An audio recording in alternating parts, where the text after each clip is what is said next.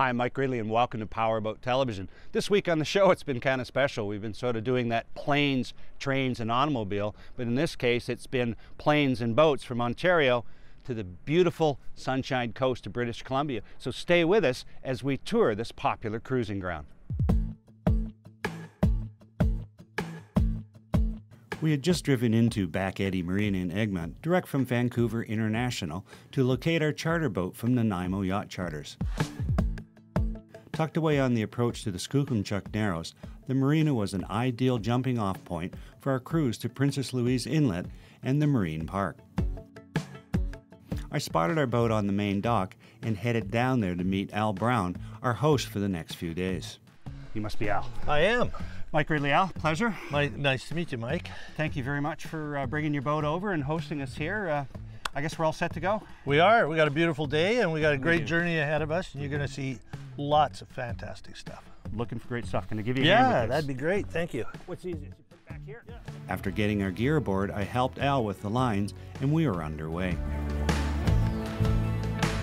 Departing at low tide, according to Al, was going to be to our benefit. So we're going right into a flood, which is really good. So you say that this is on a flood tide, so it's bringing water inland, and we've got a, a spot we have to go through that we have to time it to slack tide.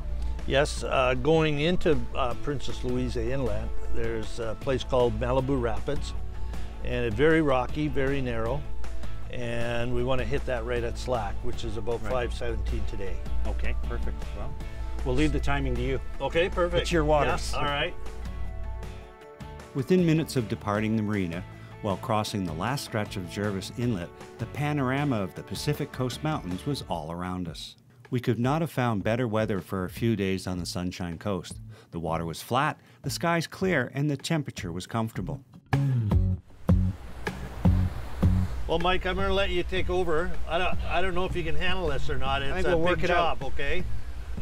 Yeah, we're at You'll have gray hair monumental when you're done. Uh, yes, like yours. yeah, like mine.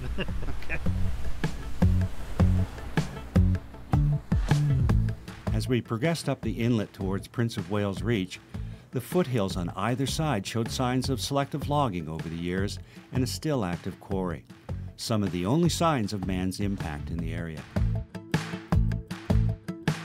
With light winds and a crystal clear blue sky, the waters took on a beautiful hue and reflected the landscape all along the shoreline. On occasion, other boats would overtake us with our slow pace of 8 knots. With the balance of the afternoon to reach our destination for the night, we were in no hurry. All we had to do was sit back, relax, and take in our surroundings. Along the stretch is one of the few bays you can pull a boat into Vancouver Harbor.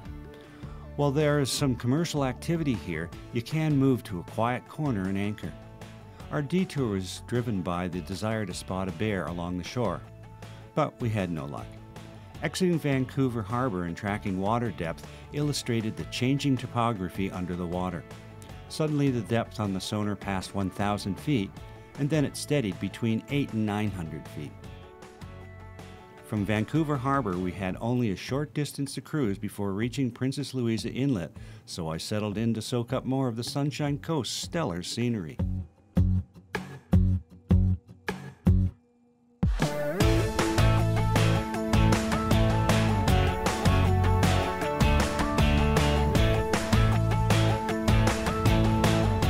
Join us later in the show as we make our way towards Princess Louisa Inlet.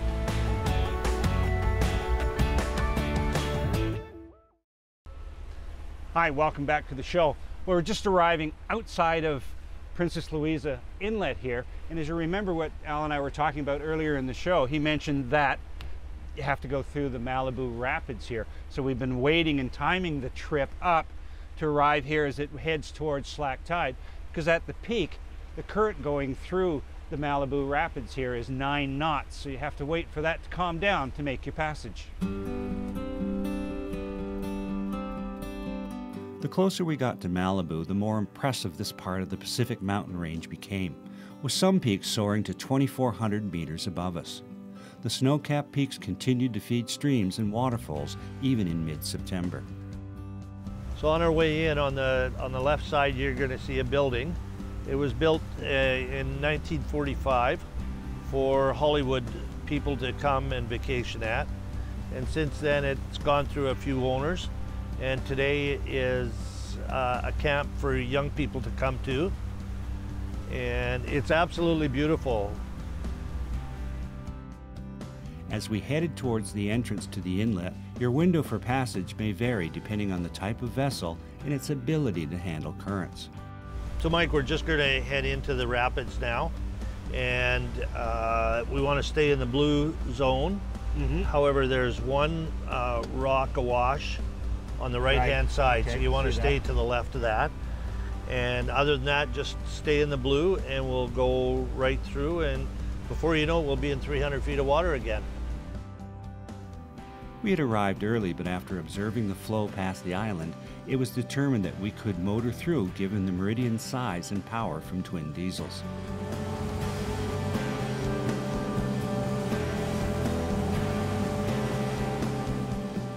Within minutes, we were through and cruising up the calmer waters of Princess Louisa Inlet. And just past Malibu Narrows, kids at the camp were having a blast in the September sun. All we had to do was sit back, relax, and enjoy the cruise up the inlet into Princess Louisa Marine Park.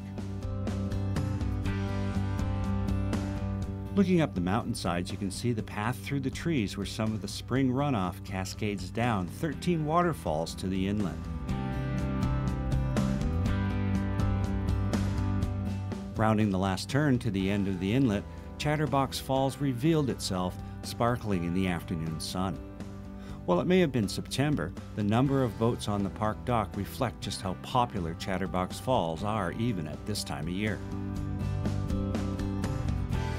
Secured for the day, we were glad to be stepping ashore to explore the park and get up close and personal with the falls.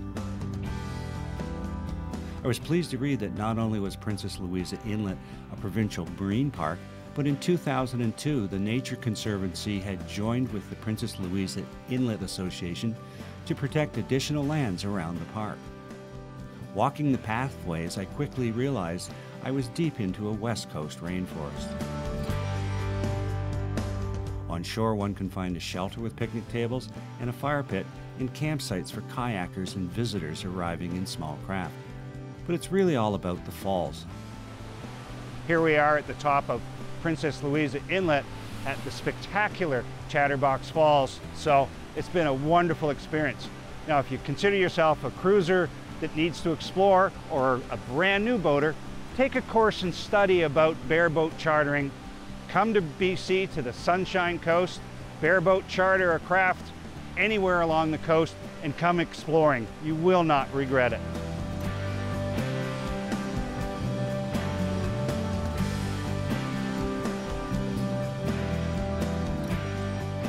As the late day sun passed behind the mountains, it was our time to sit back looking out over the inlet and marvel at the wilderness so readily accessible by boat. Hi, I'm Mike Gridley and welcome to Powerboat Television. Well, it's early in the morning here at Princess Louisa Inlet at the Marine Park, just right at Chatterbox Falls. Just waiting for the sun to come over the mountains here, which are quite tall, and then we're going to get set to resume our cruise on BC's Sunshine Coast. But before departing, I had to take one last walk ashore to lock in my memory the sights and sounds of this special place. The sound of Chatterbox Falls and the sun burning off the mist as it rose to light up the mountainside was worth waiting for in the cool morning air. As the sun started to touch the waters of Princess Louisa Inlet, it was time to retrace our route out to Queen's Reach and to Prince of Wales Reach. Approaching Malibu Rapids, we had some company alongside for a while. Passing through the rapids at low slack tide, the flow was minimal, calm, and we barely felt the boat shift in the current. With only a gentle breeze, the waters were calm, so this would be a very relaxing cruise and one to be savored. Interesting the shoreline all- all along here. You're saying it's a great area for diving? I didn't know the diving was so popular here. The diving industry here is huge. Uh, There's lots of classes that can be taken, weekend courses, and so on. But the diving along here, this water here, I think is about, you said about 900 feet deep? Yeah, it's coming up at ranging between 800 and we're 1156 feet right now. Right, so where we would dive is along the wall uh, on this channel here. It would go, to, the max you can go is about 150 feet. But in that 150 feet to the surface, you're gonna find sea urchins, uh, octopus, wolf eels, sea anemones, plumose anemones, uh, rockfish, all kinds of life lives within that first 60, 70, right. 80 feet. Right. It also allowed Al and I to talk more about the area and his experiences here.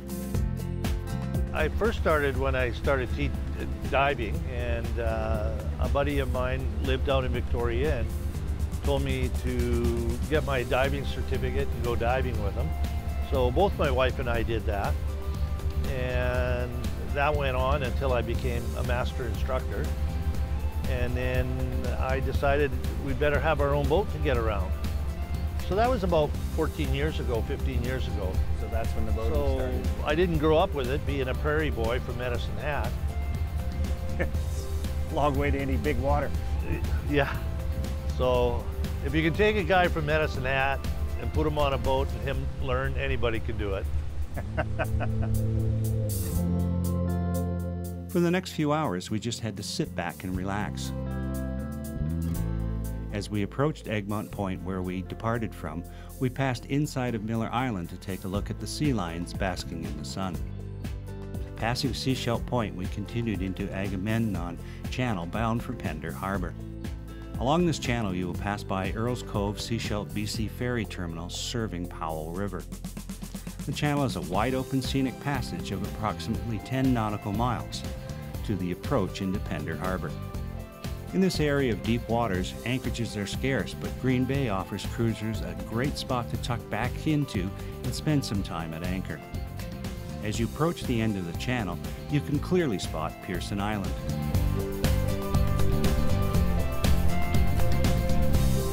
Join us later in the show as we wrap up our cruise on BC's Sunshine Coast.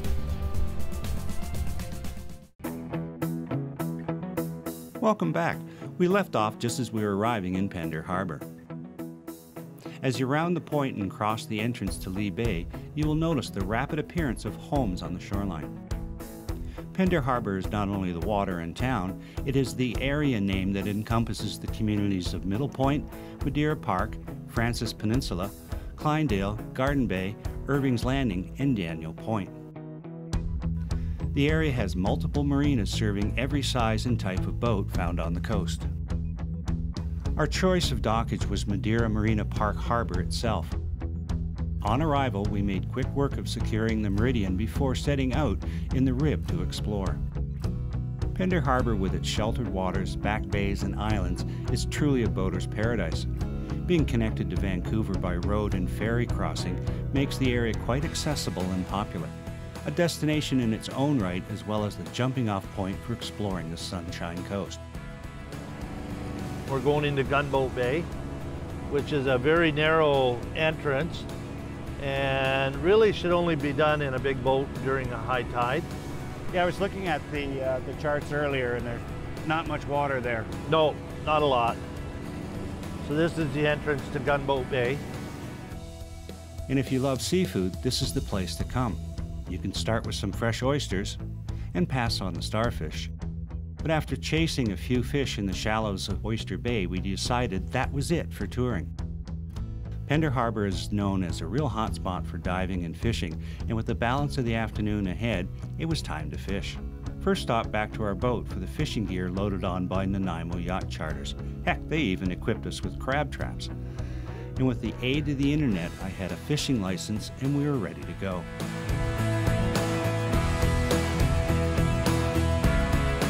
As we approached the Rock Islands where we would be fishing for lingcod, we were able to witness several families of eagles engaged in training their young ones. And of course, more sea lions. Uh, you can hand me that. This is uh, not your typical fishing, fishing vessel. No, it's a little, uh, little tight, but guess what? The fish don't care. Amazing how, how deep it is right offshore. We're, we're that's about, um, I would guess 50 feet. You let it go right to the bottom again? Yeah, yeah, you want to bounce her off the bottom.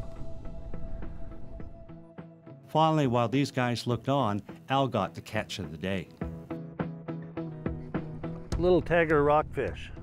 Just hooked him as he was going by by the looks of it. Oh, he probably he probably took a strike at the hook, right? Right. That's what I got. Hey, that's a great fish. yeah. Relocating Kelp. some yeah, relocating some kelp, roots and all. While we did have a great day fishing, I enjoyed the cruise with Al into some of the most spectacular locations for boating that I have ever been. Want to come to BC and the Sunshine Coast? Check out Boating BC and Ahoy BC online and start making plans. Personally sad to say that this is the end of our time on a small portion of BC's Sunshine Coast. We spent some time cruising through here in Pender Harbor and doing some local exploring. Now it's time to call it a day. If you do have the opportunity to come to British Columbia, whether it's from across Canada or from somewhere in the United States, if you can't cruise into this location, you can certainly come here as we have in Bareboat Charter.